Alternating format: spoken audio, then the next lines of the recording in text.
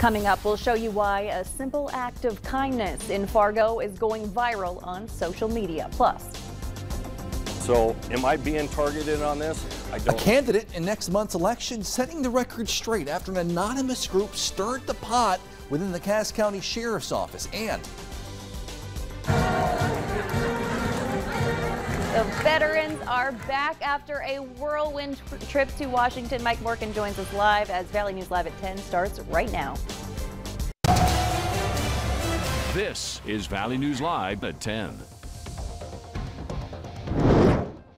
I'm being called a scumbag, I'm getting called a narc, I'm getting called all of this. I didn't leak this information.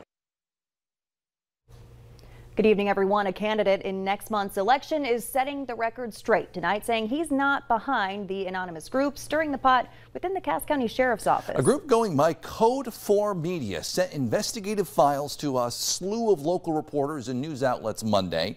Valley News Live later uncovered sheriff candidate Matt King was the only person who requested those documents, raising questions about his involvement.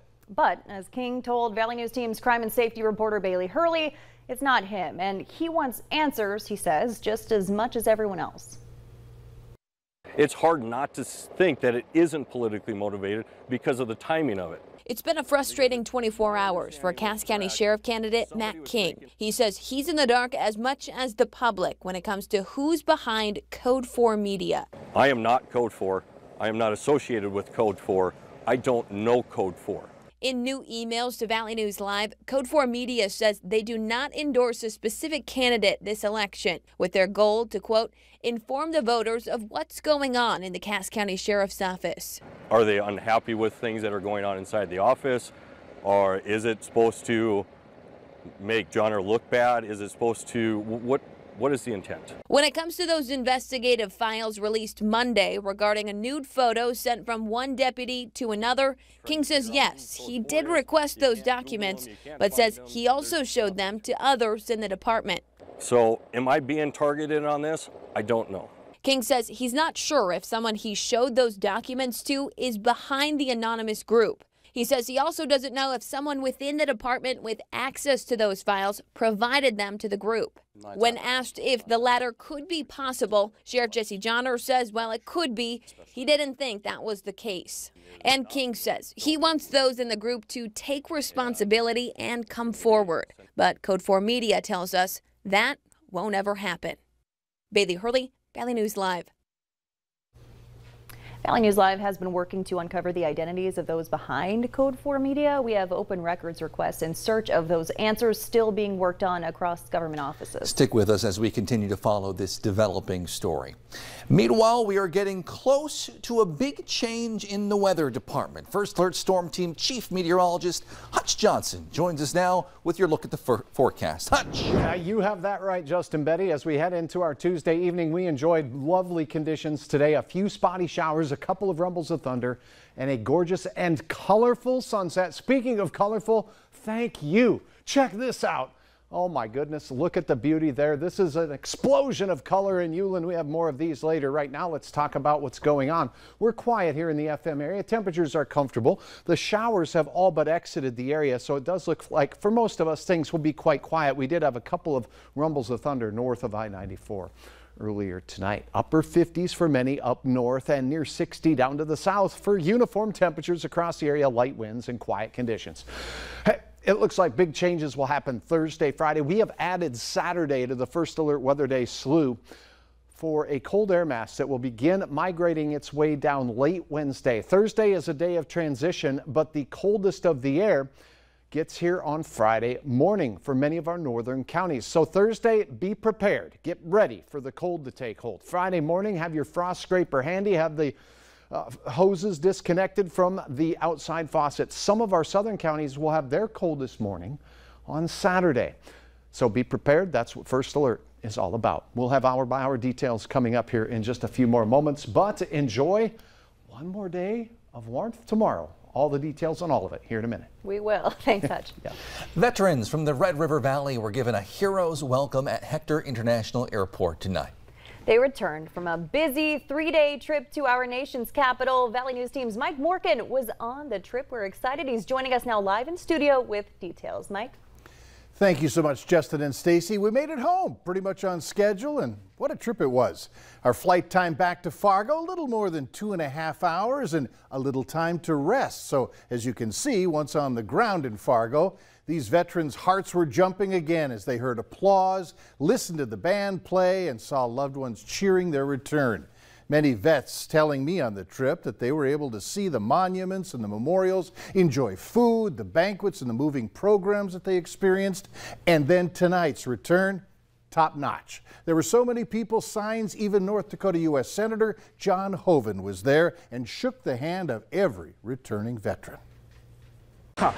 Just about crying. Really nice, really nice.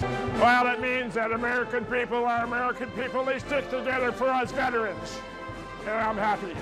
All these uh, uh, people helping, and uh, it's just amazing. The volunteers that they have, they do such a good job that, you know, it, it, it's hard to describe, really.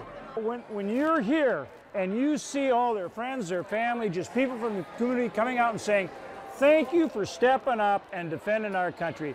Boy, it hits home. These guys are the best. We love them. When you think about these honor flights, it's amazing how well organized they are. During three days, we made 12 separate stops, drove past the White House and Capitol buildings several times, dodged rain, and brought everyone home safely. A pretty good way to end a once in a lifetime trip. Justin, Stacy? Thanks, Mike. And uh, that trip makes three in our area just this year. Yeah, for a look back at our coverage, go to valleynewslive.com or your VNL News app. Well, the Becker County community will remember two of their own found dead in their home last week. They died in what law enforcement is calling a murder-suicide. Friends tell us 45-year-old Stephen Stearns and 49-year-old Stacy Stearns were both diagnosed with terminal cancers. The two had made plans to go into the afterlife together. On Saturday, October 22nd, the community will gather at Height of Land Sportsman Club for one last celebration. They plan to shoot clays, have a hayride, a good meal, dancing, and a bonfire, all for Stacy and Steve. A Fargo man who's been on the run from police since August is now behind bars. 31-year-old Robin Heinonen was arrested early this morning on several outstanding warrants. Police say they got a tip that he was in an apartment along 42nd Street South. Authorities set up a perimeter around the building. When they went inside, they say Heinonen jumped off the balcony.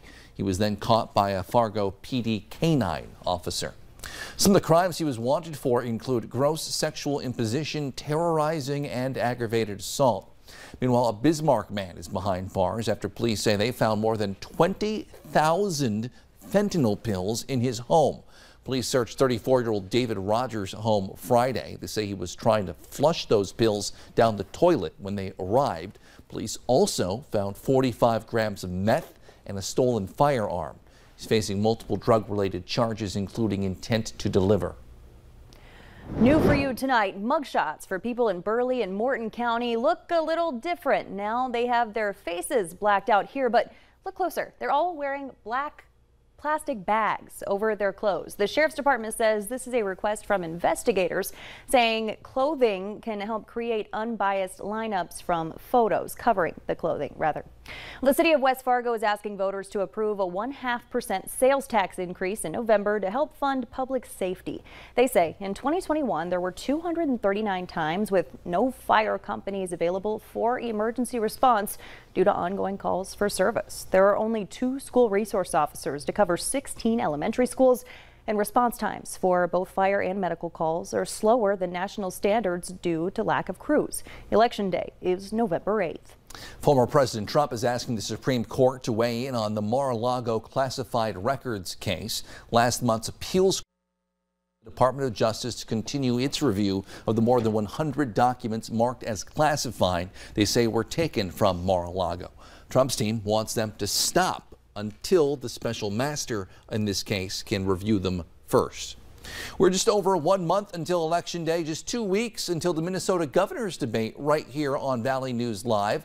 I'll be a part of the panel of journalists asking Governor Tim Walz and challenger Scott Jensen questions live from KTTC TV in Rochester, Minnesota. You can submit questions, ideas, to me at my email address, justin.betti, B-E-T-T-I, at valleynewslive.com. The debate itself is set for Tuesday, October 18th from 7 till 8 p.m. It'll air live on KX4. It'll live stream on valleynewslive.com. Look for our website for more information. Still to come here.